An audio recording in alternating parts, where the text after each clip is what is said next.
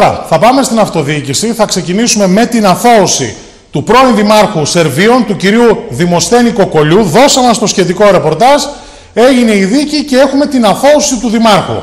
Είναι κάτι το οποίο περίμενε Ηθική ο Ηθική δικαίωση για το Δημοσθένη Κοκολιό. Σωστό, αυτό να το πούμε, τονίσουμε εδώ. Υπήρχε μια διαδικασία στο τριμελές εφετείο κακουργημάτων χθες Πέμπτη.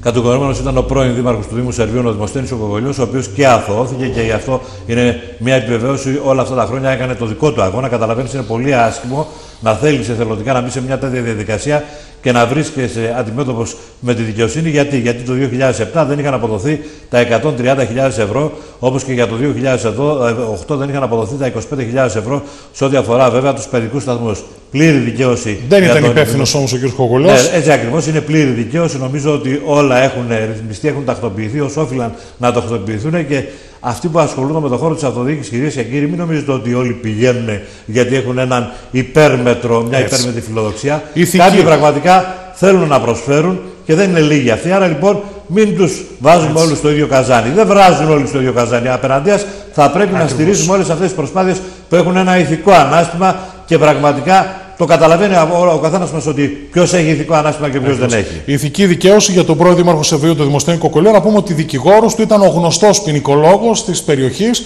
ο κύριος Βασίλης Τζιούτζια. Μάλιστα.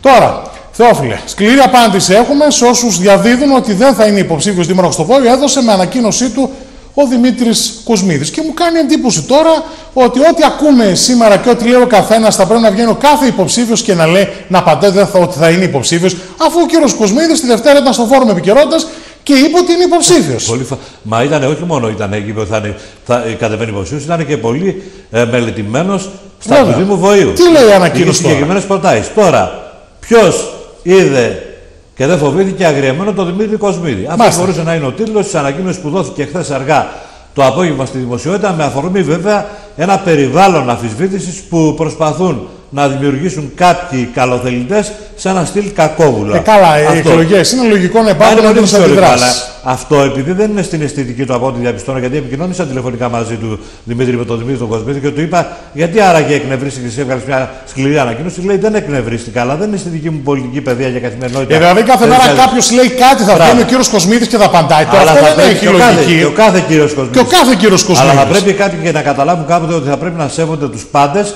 άσχετα ποια θα είναι η επιλογή τους. Έτσι λοιπόν στο, στην απάντησή του κάνει λόγο. Όσοι κακόβουλοι προσπαθούν με οποιοδήποτε τρόπο να διασύρουν το όνομά μου, διαδίδοντας τιμή συμμετοχή μου στις επερχόμενες αυτοδιοικητικές εκλογές ως υποψήφιος Δήμαρχος Βοήου, το κάνουν χωρίς ίχνο ντροπής, ανερυθρίαστα και φυσικά για τους δικούς τους ανέντιμους σκοπούς. Οι όποιες σχήμες ακούγονται γύρω από το όνομά του αλλά και από το συνδυασμό μου ενεργοί πολίτες δεν με αγγίζουν. Τουναντίον με εμπισμώνουν περισσότερο. Και καταλήγει. Εξακολουθώ να δηλώνω παρόν στο Δήμο Βοήου. Ω ομάδα έχουμε όραμα, έχουμε σχέδιο, έχουμε δυναμική. Όσοι έχουν μάθει να ζουν παρασιτικά και να τρέφονται από εκβιασμούς, συκοφαντίες και να πατούν επιπτωμάτων, γιατί μόνο αυτό έχουν μάθει να κάνουν στη ζωή τους, θα τους πρότεινα να κλειστούν στο λαγούμι τους και να αφήσουν τον τόπο να πάει μπροστά χωρίς πάρεγγα. Σκληρή ανακοίνωση. Και αυτή την υπογράφει ο Δημήτρης ο Κοσμίδη, ο πρόεδρος της Ελληνικής Ομοσπονδίας Γκούνα και υποψήφιος δήμαρχος για το Δήμο Πάμε στα της περιφέρειας. Τώρα να πούμε ότι ανακοίνωσε σήμερα το αργά το απόγευμα η Γεωργία Ζιμπηλιάδο τους πρώτους περιφερειακούς συμβούλους των Γρεβενών και έδωσε και το στίγμα της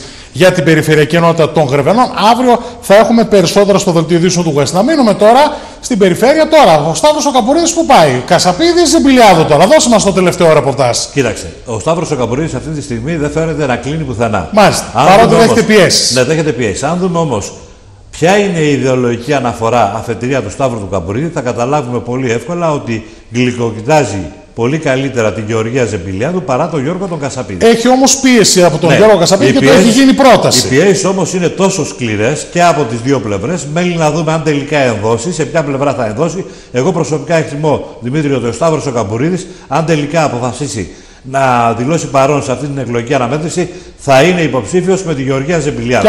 Αυτό τουλάχιστον είναι μια προσωπική μου εκτίμηση, γιατί γνωρίζω ποια είναι και η ιδεολογική του αφετηρία. Ο Σταύρος ο Καμπουρίδης καταλαβαίνει και ο καθένας από εμάς ότι πηγαίνει πλησιέστερα προς την ιδεολογική του έτσι, ταυτοποίηση παρά σε ένα χώρο ο οποίος μπορεί να έχει και πολλές διαφωνίες. Θα δούμε. Πάντως δεν έχει πει, δεν έχει ανοίξει τα χαρτιά του και περιμένουμε τις επόμενες μέρες να δούμε τι θα γίνει. Ο Σταύρος ο Καμπορίδης όμως είναι ένα πρόσωπο το οποίο πραγματικά θα πρέπει να σταθούμε, το οποίο σημάδεψε θετικά την συγκεκριμένη αυτοδιοικητική περίοδο ακόμη από το Σεπτέμβριο του 2014 όταν είχαμε και την ανάληψη της διοίκησης από τη νέα Περιφερειακή Αρχή από το συνδυασμό Ανατροπή Δημιουργία με Περιφερειάρχη τον Θοδωρή τον Καρυπίδη. Ο Σταύρος ο Καμπουρίδης ήταν εκείνο το πρόσωπο το οποίο πραγματικά ευθύς εξ αρχής έβαλε τη δική του διαπραγματευτική έτσι, απέτηση, τα δικά του εγώ και θέλω, τα οποία όμως ήταν και ορίζονταν στο γενικό σύνολο. Δεν τον ενδιαφέρε προσωπικά η δική του παρουσία και λειτουργία και τα δικά του προσωπικά ωφέλη, αλλά αγωνιζόταν για το γενικό σύνολο και δι για το καλό της περιφέρειας Δικής Μακεδονίας.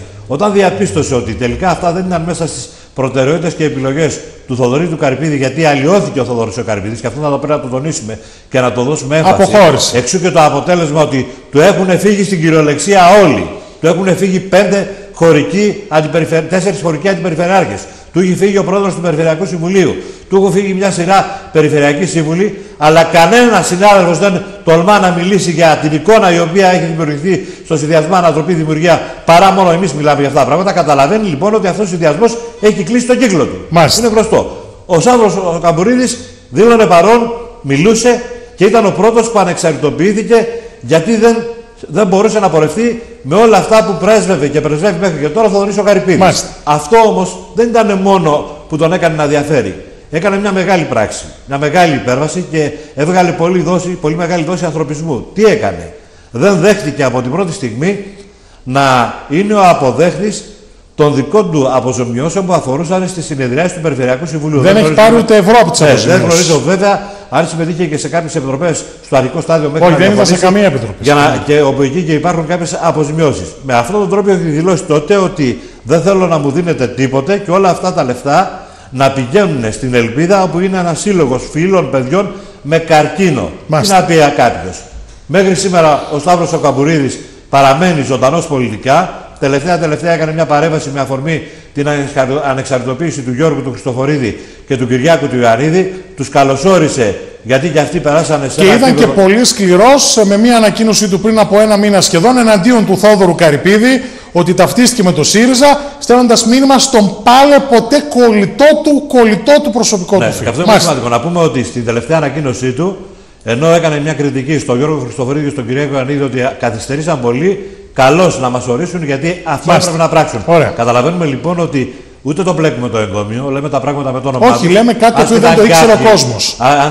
Άσχετα αν κάποιοι καλοθέλτε μπορούν να υποθέσουν πολλά και να πούνε ότι τα λέμε αυτά γιατί θέλουμε να το δρομολογήσουμε σε μια κατεύθυνση, γιατί το θέλουμε παρόν και όχι μόνο. Ε, τελικά να καταλάβουμε ποιοι πρέπει να ασχολούνται με τα κοινά, ποιοι πρέπει δηλαδή να αγωνίζονται για το καλό του τόπου. Αυτοί που έχουν ένα ηθικό ανάστημα ή αυτοί που άγονται και φέρονται μέσα από συναλλαγές, όχι μόνο πολιτικές αλλά και άλλες συναλλαγές. Νομίζω καταλαβαίνετε τι εννοώ. Πάμε να κλείσουμε τώρα, ναι. Να πάμε τώρα. Να πούμε ότι ήδη άρχισαν οι μεταγραφές Δημήτρη. Μεταγραφές ναι. σε υποψηφίους. Από τη μία ανακοινώνονται σε ένα συνδυασμό και μετά από μερικές μέρες φεύγουν από εκείνον τον συνδυασμό και πάνε σε ένα άλλο. Ο λόγος για την κυρία Ευαγγελία Φλόρου, η οποία ενώ ανακοινώθηκε επίσημα ότι θα είναι υποψήφια με τον Φώτη τον Κεχαγιά, ξαφνικά χθες προέκυψε πρόβλημα και σήμερα ανακοινώθηκε ότι η κυρία θα είναι υποψήφια με τον Κυριάκο τον Μιχαηλίδη. Αυτό δεν είναι πολιτική λειτουργία και δεν μπορώ, δεν θέλω να εκφραστώ να πω περισσότερο. Δεν χρειάζεται αυτό, το ξέρει η κυρία Φλόρου. Τώρα, να πάμε στο Δήμο Σερβίων Βελαιοντού. Έχουμε και νέα και νέες υποψηφιότητες. Αυτή τη φορά από το συνδυασμό ενωτική κίνηση του Δήμου Σερβίων με υποψήφιο δήμαρχο τον Βασίλη τον Κωνσταντόπουλο. Ποιοι είναι οι νέοι υποψήφοι, ο Κώστας ο Αναστασιάδης, ο Μιλιάδη ο Κατερή, ο Ευθύμης ο Δανάτσας, ο Μίμης ο Δρακόλας και ο Τάσος ο Καράγλου. Πέντε νέες υποψηφιότητες για τον πρώην Δήμαρχο. Να πάμε τώρα στο Δήμο Αμυντέου, όπου έχουμε και νέες υποψηφιότητες από την πλευρά του υποψήφιου Δημάρχου για το Δήμο, τον κυρίου Άνθιμου Μπιτάκη. Ποιοι είναι αυτοί, ο Βαγγέλης ο Ακριτίδης, ο Θεοχάρης ο Αντωνιάδης, ο Τρίφωνας ο Γεώργου, ο Στάθης ο Δελγιανίδης, ο Χρήστος ο Θωμαίδης, ο Νίκος ο Λιπίτικας, ο Γιορδάνης ο Μπάντης, ο Κώστας ο Παθανασίου, ο Κοσμάς ο Μπλιούμπης, η Αντιγόνη Τασοπούλου και ο Σπύρος ο Τσαχυρίδης. Αυτά είναι τα νέα ονόματα, οι νέες υποψηφιότητες του κυρίου Πιτάκη. Να μείνουμε στον χώρο της αυτοδιοίκησης, να πούμε ότι ευχές για την ονομαστική του εορτή θα δεχτεί ο Βαγγέλης ο Σιμαντράκος, ο υποψήφιος δήμαρχος του Δήμου Κοζάνης και περιφερειακό και αντιπεριφερειακής τη Περιφερειακής Ενότητας Γερμανών τη Δευτέρα 25 Μαρτίου από τις 6 το απόγευμα μέχρι και τις 10 το βράδυ.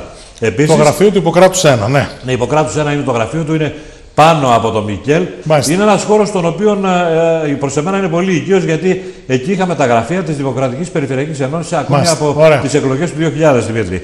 Ε, να, να μείνουμε στον χώρο της αυτοδιοίκησης, να πούμε ότι συνεδριάζει την 3η 26 Μαρτίου στις 12 ε, το μεσημέρι στα γραφεία της η, το Διοικητικό Συμβούλιο της Περιφερειακής Ένωσης Δήμων Δυτικής Μακεδονίας. Στην ημερήσια διάταξη έχουμε 8 συγκεκριμένα θέματα. Ένα από τα θέματα το οποίο θα απασχολήσει τις συνεδρίες είναι και οι τελευταίες αλλαγές που έχουν έρθει στον Κλειστέρι με αφορμή τις τροποποιήσεις που έχουν καταθέσει στο Ελληνικό Κοινοβούλιο πριν από 10 περίπου μέρες. Και να κλείσουμε βέβαια από τις συνεδριάσεις Δημοτικών Συμβουλίων του Δήμου Εορδέας, η οποία θα πραγματοποιηθεί η 28 Μαρτίου, ημέρα 5η στις 7 το απόγευμα, όπως και επίσης ο Δήμος Βοήου συνεδριάζει το Δημοτικό του Συμβούλιο την ίδια μέρα, δηλαδή 5η 28 Μαρτίου στις 5 και 30 το απόγευμα, με 27 θέματα στην ημερήσια διάταξη. Ωραία, Θόφιλε, σε ευχαριστούμε. Τώρα πάμε σε αυτό το σημείο να δούμε το συγκινητικό μήνυμα του νέου Μητροπολίτη Ανίου και Σατίστη Αθανασίου Γιανουσά.